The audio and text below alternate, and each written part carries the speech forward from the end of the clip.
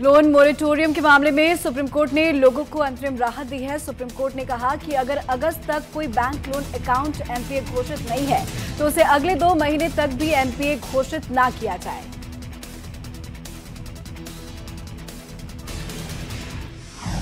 राजधानी दिल्ली में पब और बार 9 सितंबर तक खुलेंगे। दिल्ली के उपराज्यपाल अनिल बैजल ने पब और बार को फिर से खोलने के लिए दिल्ली सरकार के प्रस्ताव को मंजूरी दे दी है।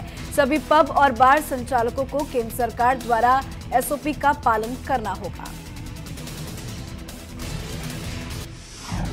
फ़िल्म अभिनेता सुशांत सिंह राजपूत केस को लेकर लगातार बयानबाजी हो रही है। अभिनेत्री कंगना रनौत इस मामले में काफ़ी मुखर है। अब कंगना और शिवसेना नेता संजय रावत के बीच जुबानी जंग तेज हो गई है। मुंबई पुलिस को लेकर दिए बयान के बाद शिवसेना नेता संजय रावत ने कहा कि अगर उन्हें मुंबई में डर लगता है तो वापस नहीं आना चाहिए, जिस पर अब कंगना की ओर से जवाब आया है।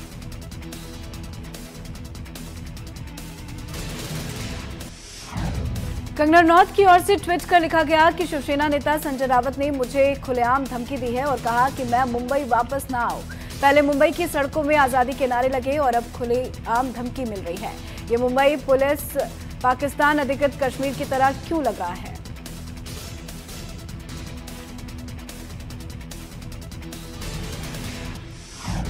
सुशांत सिंह राजपूत केस में सीबीआई की जाँच का आज पंद्रहवा दिन है। सीबीआई के साथ ईडी और नार्कोटिक्स कंट्रोल ब्यूरो की जाँच भी तेज रफ्तार से चल रही है।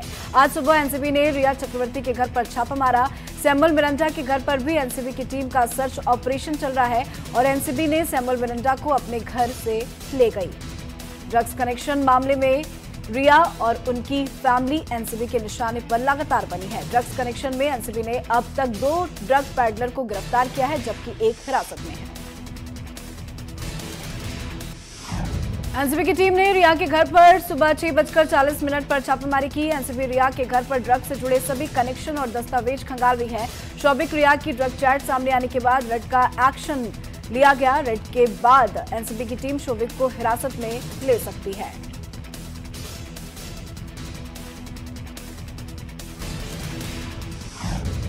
चीन के रक्षा मंत्री वे फैंग ने भारतीय समकक्ष राजनाथ सिंह से आज मिलने की इच्छा जताई है। फैग और राजनाथ सिंह फ़िलहाल मॉस्को में चल रहे संघाई सहयोग संगठन की बैठक में मौजूद है।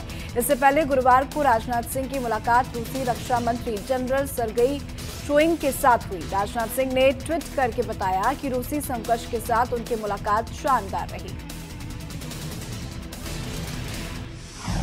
जेई मेन की परीक्षा का आज चौथा दिन है। बताते चले कि 6 सितंबर तक जेई मेन की परीक्षा चलेगी। हर दिन दो पाली में परीक्षाएँ होंगी। देश भर में 660 परीक्षाएँ केंद्र बनाए गए हैं। कोरोना को देखते हुए थर्मल स्क्रीनिंग, सोशल डिस्टेंसिंग का पूरा ख्याल रखा जाएगा। इसी के साथ मास्क, हैंड सैनिटाइजर, पानी की बोतल रखना अनिवार्य होगा। भारत में कोरोना वायरस के नए मामलों में अब रोज़ाना ही नए रिकॉर्ड बन रहे हैं। देश में पिछले 24 घंटे में बयालीस नए मामले सामने आए। वहीं एक हज़ार छियानवे लोगों की जान गई है।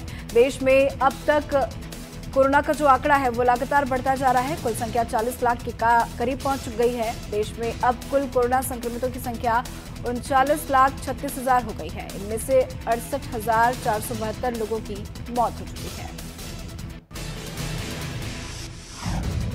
यूपी में कोरोना मरीजों की संख्या में इजाफा हुआ है। 24 घंटे में पाँच नए मरीज़ सामने आए हैं और जिसके साथ ही कोरोना मरीजों की संख्या दो लाख सैंतालीस हज़ार एक सौ एक हो गई है। वहीं कोरोना से अब तक तीन हज़ार छह सौ इक्यानवे मरीजों की मौत हुई है और कोरोना के सत्तावन हज़ार सौ केस एक्टिव बताए जा रहे हैं।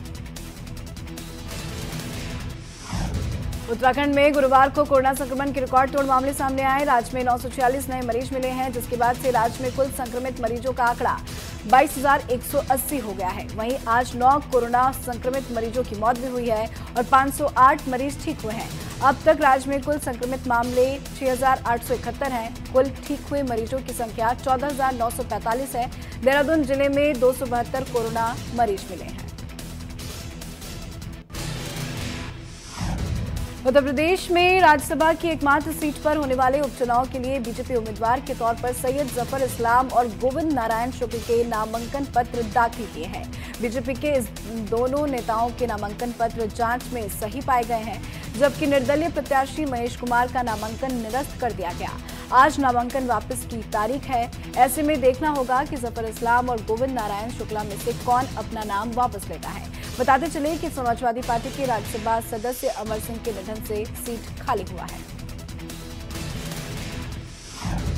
पवित्र तीर्थ स्थल हेमकुंड साहिब के कपाट आज श्रद्धालुओं के लिए खोल दिए जाएँगे। हेमकुंड साहिब की यात्रा लगभग एक महीने और पाँच दिनों तक चलेगी। जिलाधिकारी ने कहा कि कोरोना महामारी के कारण इस बार हेमकुंड साहिब की यात्रा पर आने वाले प्रत्येक श्रद्धालु को बहत्तर घंटे पहले कोविड का पीसीआर टेस्ट करना अनिवार्य होगा। आज सुबह ग्यारह बजे सचिवालय में कैबिनेट बैठक आयोजित होगी। बढ़ते कोरोना संक्रमण की वजह से पिछली दो बैठक को स्थगित किया जा चुका है। विधानसभा के मानसून सत्र से पहले कई फैसले भी हो सकते हैं। बीजेपी विधायक महेश नेगी मामले में आज सुनवाई होनी है। महिला ने अपनी गिरफ्तारी पर रोक लगाने की मांग की है। विधायक की पत्नी ने महिला पर ब्लैकमेलिंग का आरोप लगाया है।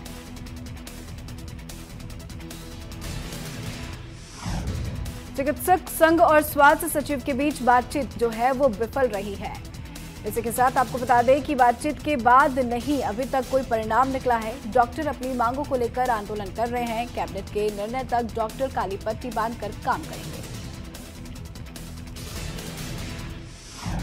कोरोना महामारी के बीच करीब साढ़े पाँच माह बाद अनलॉक चार में गृह मंत्रालय ने देश में सात सितंबर से मेट्रो के संचालन की अनुमति दी है। इसके बाद लखनऊ और नोएडा में मेट्रो को चलाने की तैयारियाँ शुरू कर दी गई हैं। मेट्रो की फंक्शनिंग और मानकों के परीक्षण के लिए लखनऊ में आज से मेट्रो पटरियाँ पर दौड़ने लगेंगी। वहीं नोएडा में ट्रायल शुरू हो चुका है। थर्मल स्कैनिंग और आरोग्य सेतु ऐप की जाँच के बाद ही मुसाफिरों को सफ़र की अनुमति मिलेगी। कोरोना संक्रमण रोकने के लिए यूपी के 11 जिलों में आज से सीरो सर्वे शुरू होगा। रैंडम तरीके से हर ज़िले के 45 जगहों से 32 लोगों के लिए सैंपल लिए जाएँगे। 18 से उनसठ साल तक के लोगों की सहमति के बाद फिर जाँच की जाएगी। अयोध्या में प्राइवेट बस कंडक्टर पर गैंगरेप का आरोप लगा है। पीड़िता लुधियाना जाने के लिए अकेले निकली थी। मामले में पुलिस ने दो लोगों को गिरफ़्तार कर लिया है। देश भर में कोरोना संक्रमण के मामले लगातार तेज़ी से बढ़ रहे हैं। इसी बीच सोनीपत के मोटल में मशहूर एक ढाबे के पैंसठ कर्मचारी कोरोना संक्रमित पाए गए हैं। मोटल में कई राज्यों से बड़ी संख्या में लोग खाना खाने आते हैं। बीएचयू के छात्र शिव कुमार त्रिवेदी छह महीने से गायब है। इलाहाबाद हाईकोर्ट ने इस मामले में सुनवाई करते हुए वाराणसी की पुलिस को 22 सितंबर तक का अल्टीमेटम दिया है। कोर्ट ने कहा कि पुलिस छात्र को 22 सितंबर तक पेश करे या सीबीआई जाँच के लिए तैयार रहे। इससे पहले एसएसपी वाराणसी ने जस्टिस एस के गुप्ता की डिवीज़न बेंच के सामने अपना एफिडेविट पेश किया था।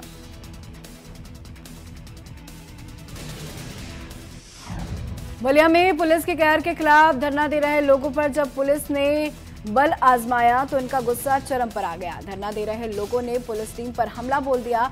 पथराव में एसएसपी सहित आठ लोग घायल हैं। इन सभी को जिला अस्पताल में भर्ती कराया गया है, जबकि धरना देने वाले की धरपकड़ के लिए पीएससी को भी लगाया गया है।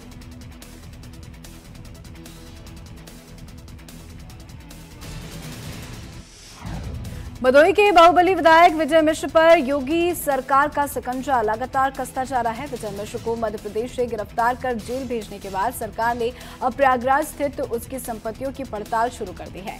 विजय मिश्र और उसके परिवार की कई संपत्तियाँ प्रयागराज में हैं। इन प्रॉपर्टीज़ के बारे में पुलिस और राजस्व विभाग की टीम छानबीन करने में जुट गई है।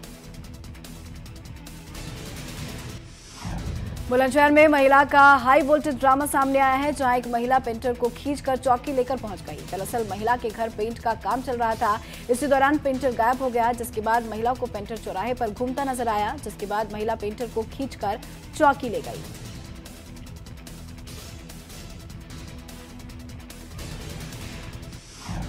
रायबरेली के जलमऊ इलाके के खंडेश्वर मंदिर के पास लकड़बग्घा दिखने से इलाके में दहशत का माहौल है। स्थानीय लोगों की सूचना पर वन विभाग की टीम काफ़ी देर बाद पहुँची।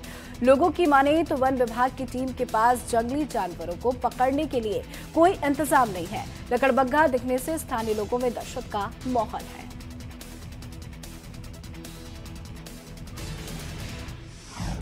बरेली के नवाबगंज इलाके में पुलिस और बदमाशों के बीच हुई मुठभेड़ में पुलिस को कामयाबी मिली है। पुलिस ने मुठभेड़ में शातिर बदमाश वहीद को गिरफ़्तार कर लिया है।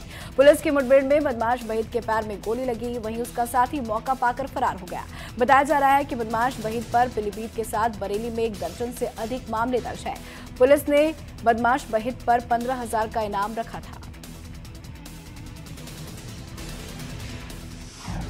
लखनऊ पुलिस कमिश्नरेट में मोबाइल लूट का सिलसिला जारी है। लखनऊ के पोश इलाके विभूतिखंड थाने से महज 100 मीटर दूरी पर बाइक सवार ने नेवी ऑफिसर से मोबाइल लूट लिया। Navy officer deputy CM Dinesh Sharma के रिश्तेदार बताए जा रहे हैं। बताते चले कि इलाके में और भी मोबाइल लूट की घटनाएँ हो चुकी हैं।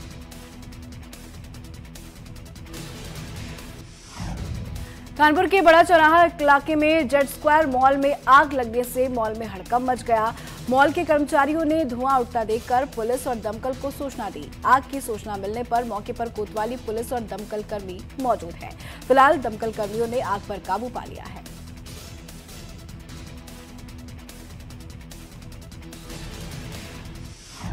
रायबरेली में अपहरण के बाद चचेरे भाई बहन की हत्या की गई। दोनों का शव गाँव से एक किलोमीटर दूर जंगल में मिला है। बताते चले कि आठ साल की रूबी और ग्यारह साल के दीपक का अपहरण हुआ था।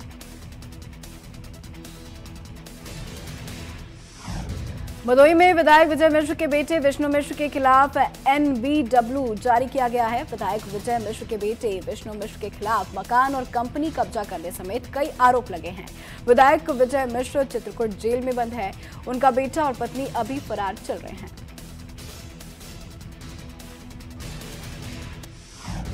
बरेली के फतेहगंज पश्चिमी इलाके में गाय तस्करों का वीडियो वायरल हो रहा है। वायरल वीडियो में देखा जा सकता है कि किस तरह से युवक ने गाय को कार में धक्का देकर अंदर कर दिया।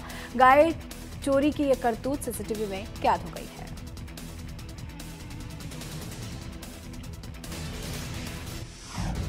आजमगढ़ के मुबारकपुर थाना इलाके में देवली के जंगल में बदमाशों और पुलिस की मुठभेड़ हो गई। पुलिस पुलिसिया कार्रवाई के दौरान गौ तस्कर दिलशाद के पैर में गोली लगी है। बताया जा रहा है कि गौ तस्कर दिलशाद गौक्षी की तैयारी कर रहा था। दिलशाद आजमगढ़ के अलावा अकबरपुर अंबेडकर नगर में भी वांटेड था। पुलिस ने दिलशाद पर पच्चीस हज़ार का इनाम रखा था। पुलिस ने मौके से तमंचा और कारतूस बरामद किया है।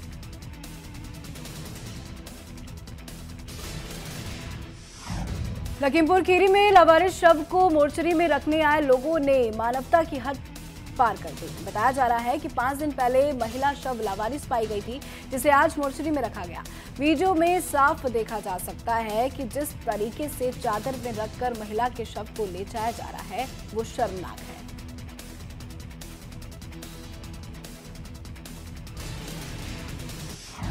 झांसी के रक्षा इलाके में एक युवक ने महिला और उसके बच्चे पर तलवार से जानलेवा हमला कर दिया। हमले में महिला का हाथ कटा और बच्चे की गर्दन पर भी चोट आई है। हमले में महिला का हाथ कटकर अलग हो गया। घायल अवस्था में महिला और उसके बच्चे को पुलिस ने जिला अस्पताल में भर्ती कराया है।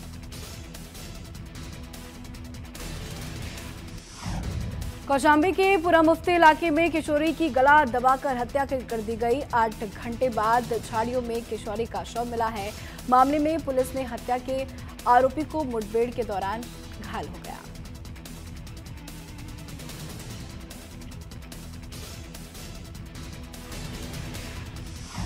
संभल के गुन्नौर कोतवाली इलाके में घर के बाहर बैठे युवक को बाइक सवार बदमाशों ने गोली मार दी। घटना को अंजाम देकर आरोपी बदमाश मौके से फरार हो गए। गोली लगने से युवक की हालत गंभीर बताई जा रही है। घायल युवक को हायर सेंटर रेफर कर दिया गया। मौके पर पहुँची पुलिस। मामले की जाँच में जुटी हुई है। रामनगर हल्द्वानी हाईवे पर कार सवार ने तीन युवकों को टक्कर मार दी। टक्कर से एक युवक की मौके पर ही मौत हो गई। वहीं दो की हालत गंभीर बताई जा रही है। टक्कर मारकर कार सवार मौके से फरार हो गया। पुलिस कार सवार की तलाश कर रही है।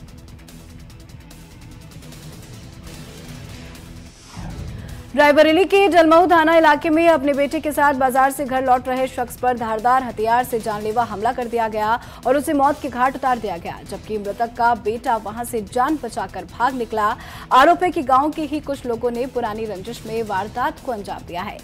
फ़िलहाल परिजनों की शिकायत पर पुलिस आरोपियों की तलाश में जुटी हुई है।